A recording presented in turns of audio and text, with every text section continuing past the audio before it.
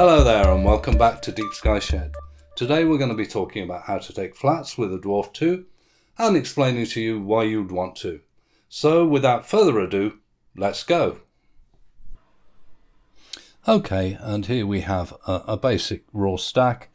It's, uh, it's not been processed, it was stacked in Siril. And as you can see, it exhibits a, a really quite nasty gradient on the left hand side. Now the gradient has been caused by uh, an aberration of the optical system.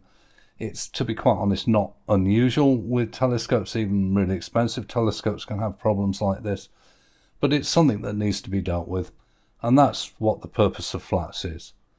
So I'm now going to show you another image. Uh, this is exactly the same image, and it has been processed in exactly the same way. The only difference is that this image was processed with flats. And as you can see, the flats have pretty much completely removed the gradient.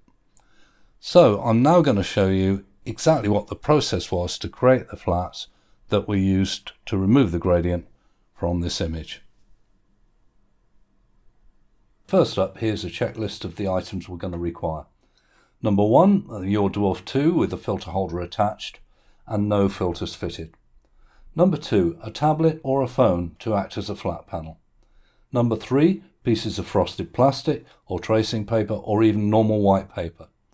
Number four, a computer with Siril installed. Number five, Dwarf 2 to be connected to a computer via USB in MTP mode or another method that allows the file system to be accessible.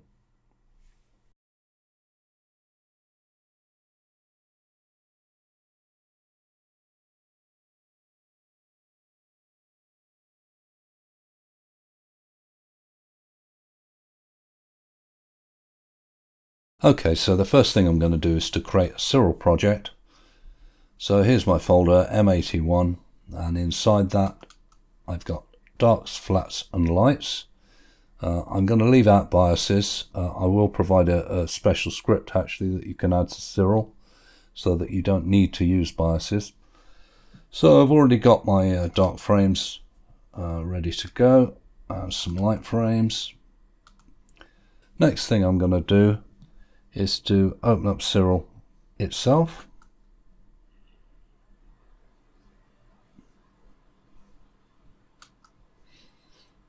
Then we're going to set the home directory.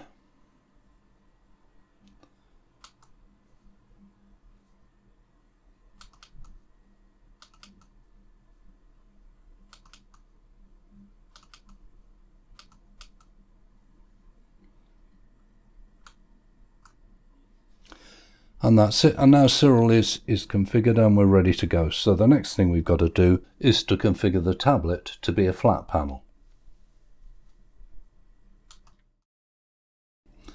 Uh, so the first thing you need to do is to find some sort of program that allows you to have a, a blank white page. So pretty much any kind of notepad style app would, would probably work for, for that kind of purpose. Uh, I'm going to use an app that I've installed. But you don't have to use this one. Actually, maybe this even is slightly overcomplicated, but uh, it seems to work quite well for what I wanted to do. Uh, if I can find it, somewhere here. Here we are, it's called Tracing Paper. So we'll just start it up. I'm going to use text. I don't actually want any text, so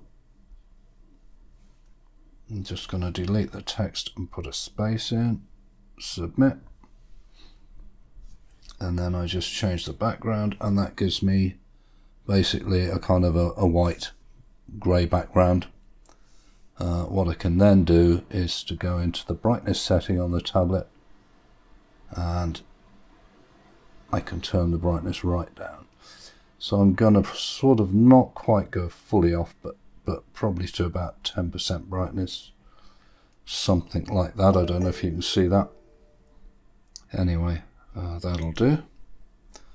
Uh, with this app I can actually press this little button that locks it.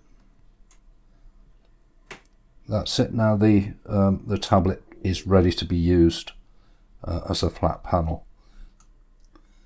Next, uh, I'm going to show you how to use this the um, tablet with the Dwarf 2 and, and how to position it.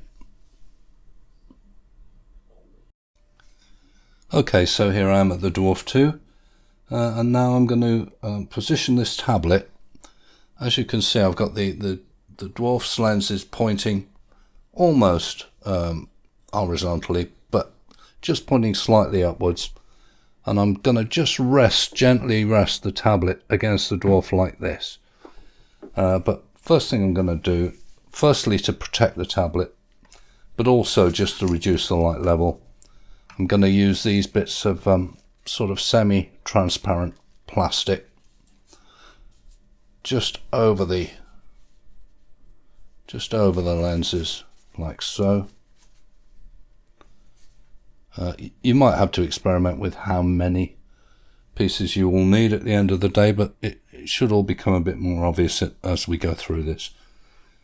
The next thing we're going to do is just place the dwarf against the lens. And I'm going to just adjust the position manually of, of the lens, just rotate it until this just drops. I feel it drop into place and it's flat. So we just want to make sure the whole thing is flat like so. And that's it now, we're ready to start shooting. So the next thing I'm going to do now is to activate the Dwarf 2. And then we'll move on to the Dwarf Lab app on my phone. Uh, we'll get rid of the wide angle view, get that out of the way. Select the Astro mode. There we go.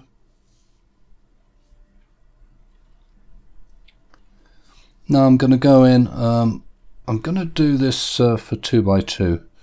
Uh, it, when you do this, you do need to do uh, separate flats for 1x1 and 2x2, or that's 4K or 2K. So I'm going to do 2K ones anyway at the moment, so that's set to 2K. Then we're going to try a shutter speed of two seconds. This is probably, you know, if you've got the tablet as, as dim as I have, this is probably a reasonable starting value. But we're going to set it for about two seconds. going to set the gain uh, to about 40. 40, there it is and we're going to set the uh, infrared to cut. That's it, I'll just make sure that's still there, yes, so that's all good. Uh, then we're going to shoot.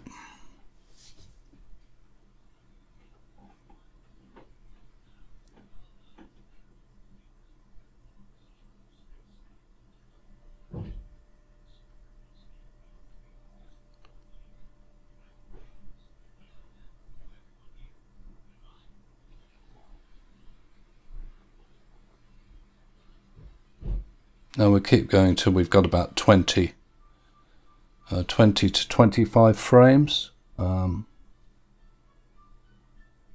that's probably a reasonable number uh, for for creating flat frames.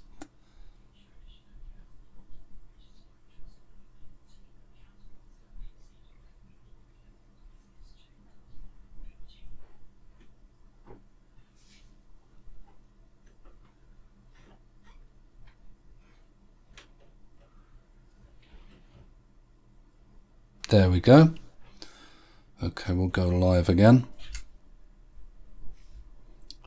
And the next thing I'm going to do is uh, switch back to my desktop and we can uh, just have a look at how we're going to check out uh, what we've just shot.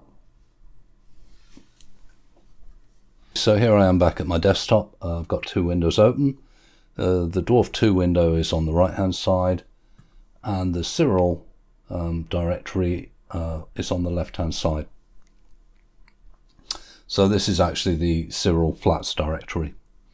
So all I'm going to do now is to drag uh, the first of these uh, flat files across into the Siril Flats directory. We click open, we click on flats, double click on flats, click on the file we've just copied across, we open that. We can just click down here on histogram and have a quick look. And that's a stretched version of uh, flat frames. Right click on it, click on statistics, and we look at this top figure here, which is mean. And what we're looking for is a mean figure of between 1500 and 1800 ADUs. If we can achieve that, then we should have a well exposed flat frame. So that's what we need to achieve. All you really then got to do is to just repeat the process. So if, for example, uh, the figure is too low, then you would increase your exposure and maybe increase your gain. If the figure is too high, you would reduce your exposure and maybe reduce your gain. Uh, the main thing to bear in mind is you cannot, in a 2x2 bin, you cannot go below one second exposure. If you find that you're at zero gain and at one second exposure, you're probably going to need to use some additional pieces of paper or something between uh, the Dwarf 2 and the tablet just to dim the light down a little bit more. Anyway, that's the basic method for taking flats with the Dwarf 2 Smart Telescope. If you're using a Mac or you have trouble accessing the file system with MTP mode, you could of course uh, take several exposures of different of different values. So you could maybe start at zero gain and then at 10, 20, 30. So you you could do a whole um, series of flats at different values. You could also uh, be increasing uh, the exposure or decreasing the exposure as well. Uh, and then you could remove the SD card, take that across to your computer and check each set of exposures in Siril and find out which was the correct one for, for what you needed. Um, but once you've done it, you really shouldn't have to do it again very often, if at all, actually. Anyway, I hope you found that useful, and um, I hope to see you on the next one. Bye for now.